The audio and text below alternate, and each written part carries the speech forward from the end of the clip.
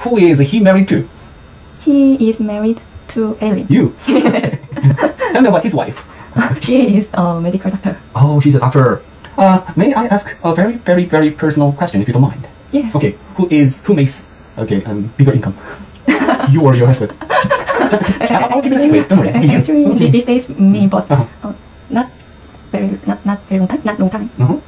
Okay, not in this kind of a situation. It's a kind of you know, uh, uh, yeah, very what? Emergency? No. Uh, okay, because he stays at home with his working. Except um, two years ago, Mhm. his income is much uh, Bigger. uh, bigger than me. Oh, okay, okay, I understand. Okay, so uh, uh wait, what does he do in his free time? He he works his friend, his children Mhm. or with books. Mm-hmm, mm-hmm. Okay, so uh, tell me about his income.